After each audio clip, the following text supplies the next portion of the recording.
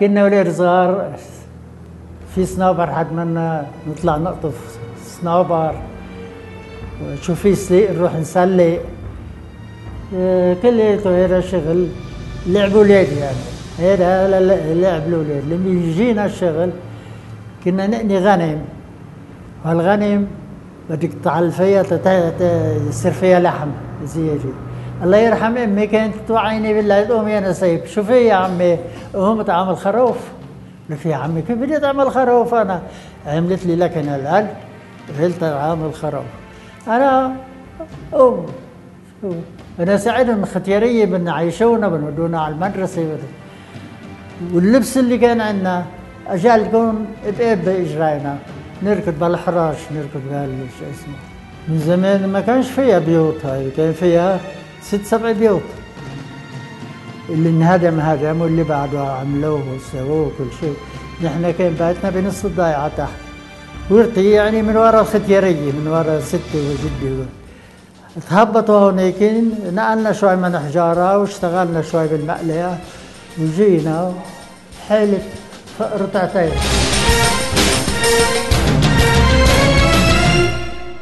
رطعتين شو بيميز هالبلدتين عن غيره من البلدات المتنية؟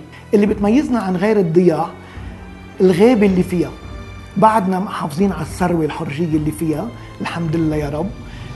ومحافظين على الغابة اللي فيها صنوبر عمره 200 و300 سنة. يعني صنوبر بولونيا كتير عالي. من ميل بيعطيك الأكسجين من ميل تاني الحياة والخضار والحياة الطبيعية. كتير مهمة للإنسان بحياته اليومية. بكل شيء الغابة حلوة. سبحان الله كل شيء الله بيخلقه. مش البشر بيعملوه. هيدا شيء كتير حلو لأنه الله خلقه بالدنيا. بقى غابة بولونيا هي خلقة ربنا ونحن بلشنا نرمم فيها نظبط فيها نقدر نعمر بيوتنا. قدرنا وصلنا ل صار عندنا كثير فيلات حلوة بيوت أرميدية. يعني إذا بتقطعي بالطيارة فوق بولونيا بتشوفي هالغابة الخضراء بين طرابيش حمر. رائعة جنة الجنات. إنه هذه كل بيوتها ارميد لبولونيا. شو أهم المطارح يلي فيهم الزوار يقصدوها ووين موجود بولونيا بتتميز بحد ذاتها بغابتها بتتميز نحن ما عندنا اثارات عندنا أهم شيء هيدي الغابة. عندنا طرقات كتير حلوة ببولونيا. عندنا كنيستين ببولونيا وهلأ عم نعمل كنيسه مرشربه الجديده بإذن الله وصرنا تقريبا رح نخلص. عندنا قصر البلدية تبع بولونيا. كتير حلو إذا بتنتبهوا له هلأ من برا. عندنا ثلاث طوابق فيه. عندنا الطابق الارضي مستوصف شبه مجاني لمساعدة أولاد الضيعة. عندنا خمس حكمة بالمستوصف. يعني عندنا أمور قدرنا وصلنا لحياة اجتماعية. يعني شو بالنهاية بده الإنسان؟ أقل شيء بده الإنسان يساعد خيه الإنسان. وبدي وجه تحية كمان لشرطة البلدية عندي اللي بهالوضع اللي كتير متعبنا. ما بدي أقول وضع مؤلم ببولونيا. وضع مؤلم بلبنان كله قد قدرتنا وقدرة هالشباب الطيبة بشرطة البلدية عم نقدر نحافظ إنه ما عم يصير عندنا خلل أمني ببولونيا أو قصص كتير غلط. وبدي وجه تحية كتير كبيرة كمان للجيش اللبناني اللي ما بنطلبه ولا لحظة إلا ما بيكون حدنا. ما بدي أنسى الأيادي البيضاء اللي انمدت لبولونيا. هيدا سر كبير قدر ساعدنا تشلنا بصمة الحرب عن الضيعة. بدي أتشكر كل اللي ساعدوا البلدية وكل اللي ساعدونا وبدي خص بالذكر ابن بلدتنا البار الأستاذ فيليب جبر. يعني أنا بقول له بالعربي النحوي الدائم العطاء.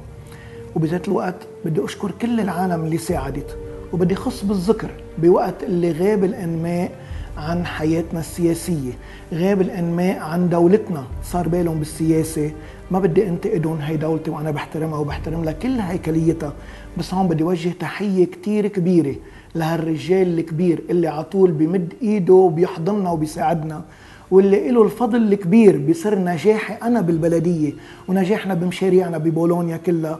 دولة الرئيس ميشيل المر. تحية كبيرة لك دولة الرئيس. الله يخلي لنا إياك ويطول عمرك. أنت بي حنون لإلنا وأنت الملاك الحارس لبولونيا. إضافة بحب وجه كلمة لرؤساء البلديات لزملائي. لبنان مقسم على بلدات إذا كل واحد منا بيكون الرجل المناسب بالمكان المناسب وأنا أكيد مع كامل الثقة إنه كل رؤساء بلديات لبنان لانهم منتخبين من الشعب والشعب بدهم إياهم بكامل إرادتهم ووعيهم هن الرجل المناسب بالمكان المناسب. لو كل رئيس بلدية بيحتمل مسؤوليته وبيشتغل بالقانون. القانون ما خلق تيضر الناس القانون خلق تينصف الناس وتيعطي كل انسان حقه. إذا كل رئيس بلدية بيقوم بواجباته بضيعته بنقدر نحن كمان نساهم ونساعد دولتنا اللي بنحبها وبنحترمها وعلى راسها رئيس جمهوريتنا اللي بدي وجه له تحية كثير كبيرة. هون نحن بنقدر نعمل بلد نموذجي بلد لبنان اللي نحن بنحلم فيه شباب لبنان. وبدي أشكركم لكم كثير لأنه ضويتوا لنا على ضيعتنا وأهلا وسهلا فيكم مرة ثانية ريس شو المشاريع والنشاطات يلي قامت فيها البلدية ويلي بعدها قيد التنفيذ عملنا صليب أحمر عملنا جرف ثلوج أنت بتعرفي بولونيا بتعلى عن البحر 1250 متر تبعد عن بيروت شي 30 كيلومتر تقريبا. يعني نحن أيام الثلج بيصير عندنا متر متر ونص ثلج وصار عندنا كمان نقطة يعني صار عندنا تراكتورات للبلدية خاصة غير مركز جرف الثلوج يعني عندها البلدية قادرة تعطي السلام لأولاد بولونيا. عملنا قصر بلدي. عملنا غرفة قاعة للاجتماعات بتجمعنا مع بعضنا بحيالله مناسبة. عملنا المستوصف كنت عم خبريك عنه قبل شوي. كبرنا مكاتب البلدية وطورناها ودخلنا التكنولوجيا عليها. عملت شارع سميته تمشى وسهر لهالولاد اللي هن صغار واللي هن ناضجين بأول حياتهم. يتعودوا على ال sport. ال sport شغلة مهمة. بلكي بتبعدهم عن الأمور اللي منا حلوة بالدنيا. بترجع بتردهم لشيء بهم صحتهم ونفسيتهم. هذا الشارع بنسكره من الساعة 5 بعد الظهر للساعة 10 بالليل. ممنوع السيارات تمرق عليه. بس السنة الحمد لله شقينا شارع كتير كبير. يعني عرضه 20 متر طوله شي 1300 متر. بلشنا له بتروتوارات وتمن نسكر طرقات العالم. عملنا من ميلة اليمين أربع أمتار تروتوار العالم تتمشى من ميلة الشمال أربع أمتار تروتوار العالم تركب على البسكليت. هذا كانت بالنسبة للمشاريع خبرنا شوي عن النشاطات الترفيهية يلي بتقوموا فيها. هلأ عندنا مشروع جديد نحن ودير مريو حنا بإذن الله. عم يساعدونا عم يعطونا شقفة أرض تنعمل عليها ملعب ونرجع يصير عندنا نادي يعني نرجع تصير نعمل sport نعمل basketball نعمل volleyball. هول قدرتنا هلأ نعملهم.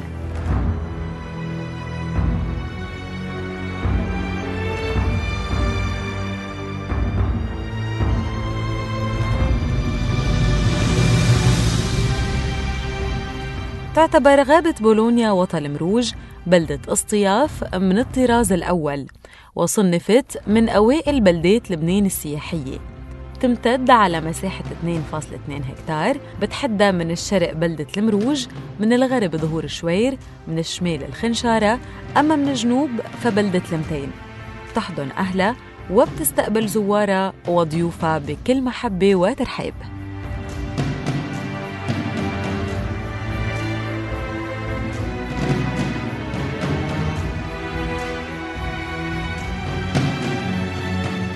ريس شو بتوجه كلمة للمغتربين عن هالبلدة؟ بدي وجه كلمة للمغتربين بالبلدة. نحن هون كرمالهم. بولونيا ناطرتهم. بولونيا رممناها كرمالهم. وبذات الوقت بدي اوجه لهم تحية تحية محبة. لأنه لما كنت أنا بطور رفع بصمة الحرب عن بولونيا كل مغتربين بولونيا وقفوا حدي. كلهم راسلتهم كلهم حكيت معهم وكلهم كان عندهم التجاوب إنه بعتوا ناس إذا ما قدروا إجوا رمموا بيوتهم. بس بذات الوقت أنا بدي إياهم لإلهم. نحن عم نعيش مع الصورة تبعهم ومع فيلات بولونيا. بس نحن بدنا نعيش معهم لإلهم. يرجعوا على بولونيا وخاصة يرجعوا على لبنان. ختاما ريس أنا بتشكرك على هالمقابلة وعلى استضافتك لنا وبترك الكلمة الأخيرة لحضرتك. الكلمة الأخيرة شكر كبير لتلفزيون FM TV شكر لك demoiselle أهلا وسهلا فيكي ببولونيا وبفريق التصوير.